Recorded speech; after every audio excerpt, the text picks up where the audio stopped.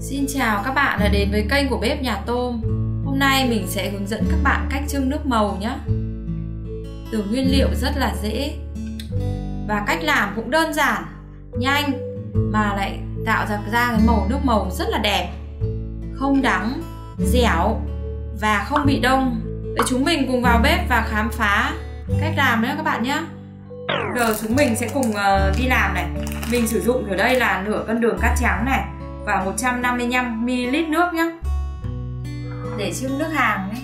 Trưng nước hay còn gọi là trưng nước màu thì mình sử dụng ở đây là một cái chảo uh, hơi dày một chút nhé Mình sẽ đổ vào đây nửa cân đường.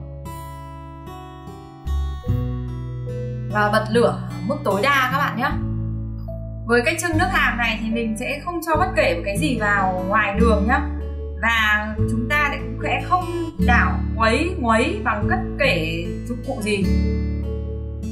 Mình sẽ chỉ dùng như thế này thôi. Lắc mình chỉ lắc này thôi nhá. Cứ lắc thế này. Chứ còn không được thò ngoáy vào cái gì hết bởi vì khi mà mình thò ngoáy vào môi miếc mình mình mình quấy mình quấy vào ấy, thì nó sẽ làm cho đường của nó bị vô đặc lại các bạn nhé Đấy, các bạn thấy không? Mình chỉ lắc cái này và mở lửa tối đa thôi nhé cứ lắc thế này đã bắt đầu nghe mùi đường kiểu như mùi uh, làm caramel rồi đấy.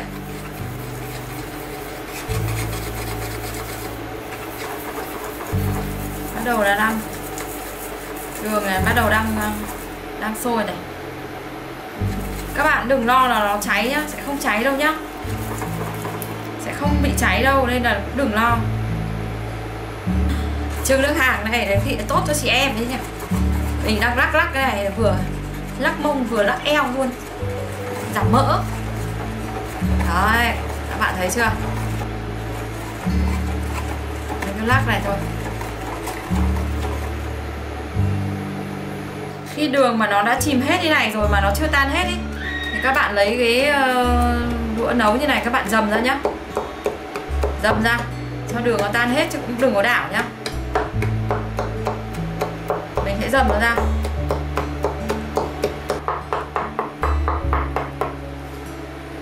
Bạn thấy này. Giờ đã nghe mùi đường rồi. Mình sẽ xem này xem nó chảy đến độ mình mong muốn chưa? Và bây giờ thì đường đã, đã sôi lên như thế này rồi bong bóng to như này rồi và được đạt đường đạt độ mà mình mong muốn với cái màu này rồi. Thì mình sẽ tắt lửa đi một chút nhé mình sẽ tắt lửa đi một chút sau đó mình đổ nước vào. Đường đang sôi như này thì sẽ rất là bỏng đấy nên là các bạn đổ cái nước vào thì cũng phải hết sức cẩn thận nhá mình sẽ đổ từ từ thôi vào và rút luôn tay ra, nếu không là sẽ bị bắn bỏng nhá. Đấy, các bạn thấy không? Mình cứ đổ từ từ nhá. Đấy.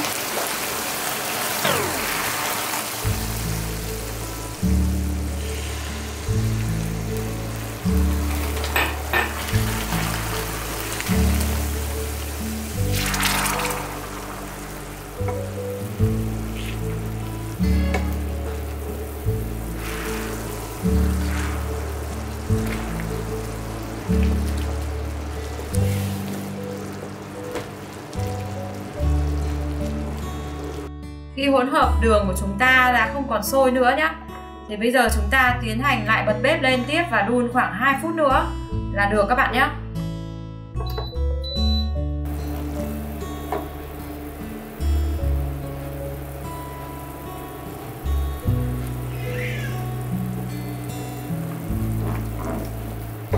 nước màu giờ đã đạt được cái độ mà mình mong muốn về màu sắc rồi ấy.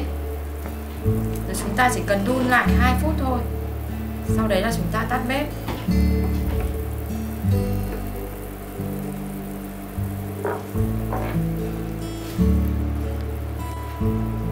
Nước hàng đã đun được à, 2 phút rồi, bây giờ chúng ta tắt bếp đi.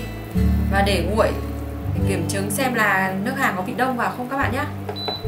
Nước màu đã được trưng xong và để nguội, các bạn nhìn này. Dẻo không? Và không hề bị đông nhé màu thì rất là đẹp này. Bạn nhìn này. Đó. Bạn nhìn chưa? Nhìn màu trên cái thìa của mình chưa? Khi đường nó chảy xuống chưa? Màu đẹp tuyệt. Bây giờ chúng ta nếm thử nhé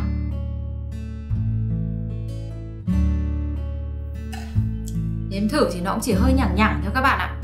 Không bị đắng nhá đây là mình trưng bằng uh, đường và nước đấy. Các bạn có thể à, thay đổi, đổi bằng à, cách trưng với cả nước dừa tươi nhá. Thì là cái màu này của mình ấy, nó sẽ bóng nó sẽ đẹp hơn.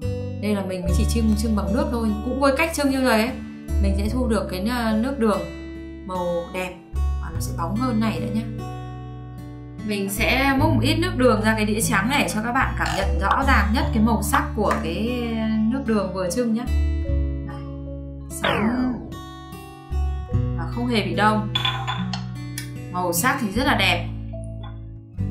Với cái cách trưng nước hàng này thì rất là nhanh và mình nghĩ là các bạn cũng làm rất là dễ dàng thôi. Chúc các bạn thành công với ờ, video này của mình nhé xin chào và hẹn gặp lại các bạn trong các video tiếp theo.